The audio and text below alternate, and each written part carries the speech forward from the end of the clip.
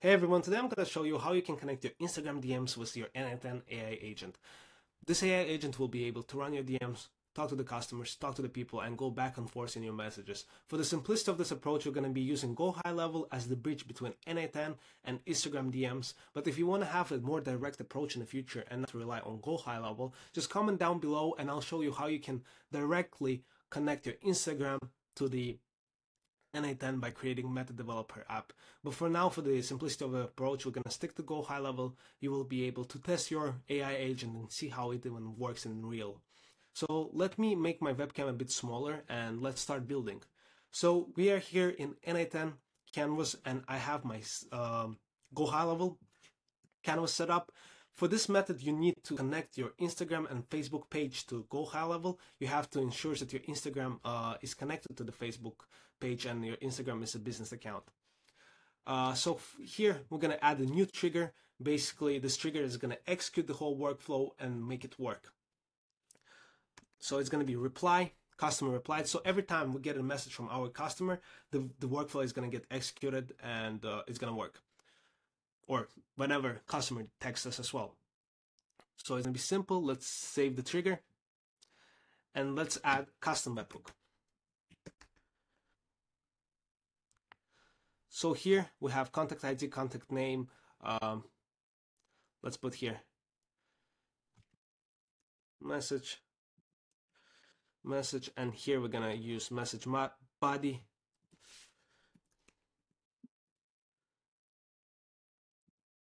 We have extra here.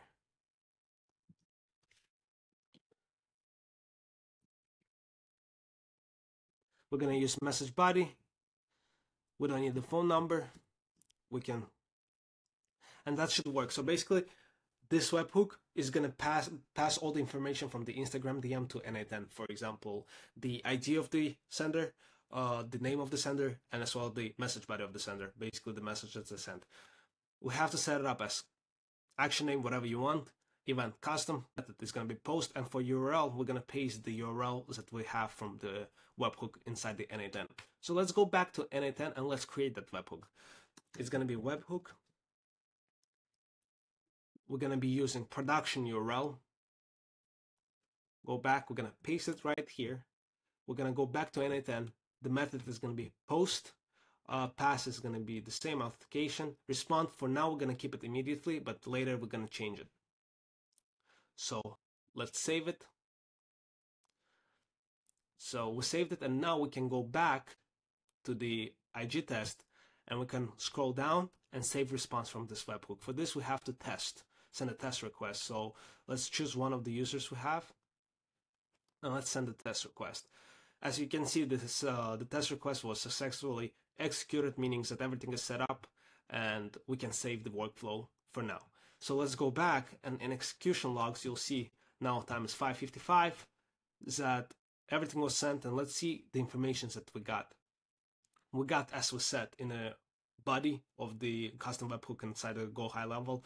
We get the id of the sender we get the name of the sender and we get the message. For this one it was empty message we just tested it. So meaning that everything works let's go back to the editor and let's keep creating more so now we need ai agent because at the end of the day you, there's no purpose if we just get the message we want to be able to respond and communicate with the person so here we're going to be using define below. Let's actually go back real quick and let's copy this to editor in order to pass the information.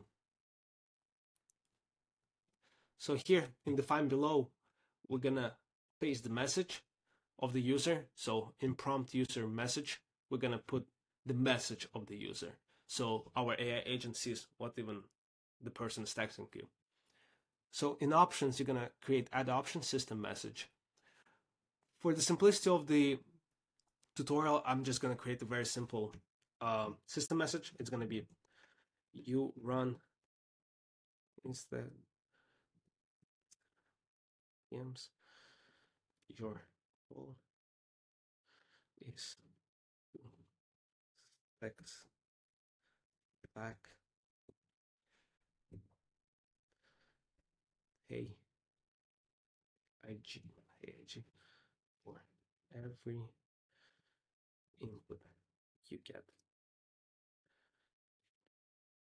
So every time someone texts us, we're gonna just send them back, "Hey IG," uh, but at the end of the day, depending on your business needs or your Instagram needs, you can always create your own system message, or you can actually check out some videos I've created in the past. One of them was uh, I created AI, so, AI agents that runs my social media. There you can see how system messages work as well as how to give database to your AI agent. But for now, we just want to show how this bridges can be connected between Instagram and n8n. So here, we'll have to give it the chat model. We're going to be using OpenAI. We can use 4o Mini. It's fine. Here in memory, we're going to give it a simple memory. And session ID we have to define below. Key, when it comes to key, we're going to send the ID of the user. So basically, our AI agent has a memory. Depending on the context window length, you can set it as 10, 25, depending on how many inputs and outputs you want the your AI agent to remember, basically the conversation. So it can talk in the context in, in the context of the previous messages as well.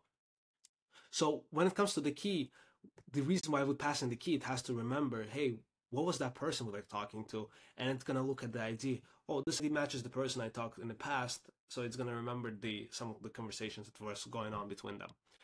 So we created the memory, and let's test the workflow. Let's actually test the AI agent.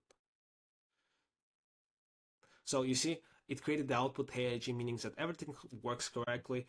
And now we can save the action and we can go back and create Instagram DM. So here in Instagram DM, it's basically we're gonna take the information from custom webhook, the response of the custom webhook, and pass it to the Instagram. So here is gonna be two curly brackets, is gonna be custom webhook dot for dot response. And we're gonna close it off with two other curly brackets. Now we can save the action, we can save this workflow, and we can go back to n8n and we can create a response to webhook.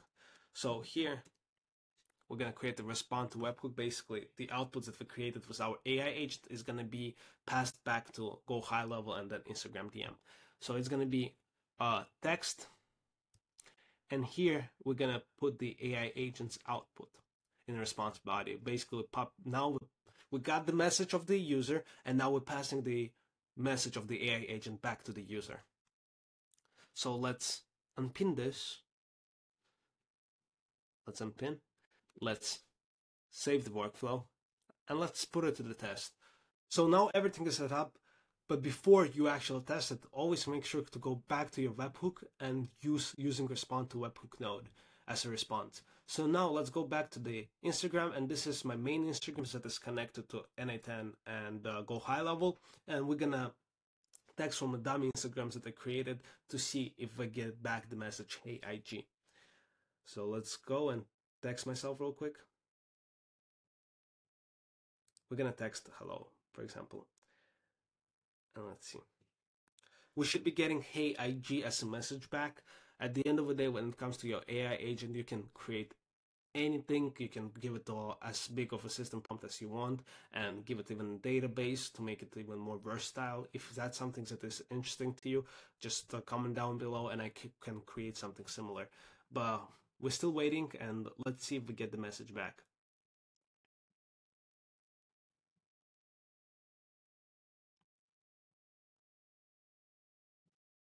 Okay, as you can see, we got hey IG message back, meaning that everything works and uh, everything is set up. Let's go back. Let's go to the executions and let's see. So we got the information back from Go High Level. So it was hey, hello, ID, name of the user. Then this hello is passed to our user message to AI agent that has the system message. That every time you get any input from the user, just text back hey IG.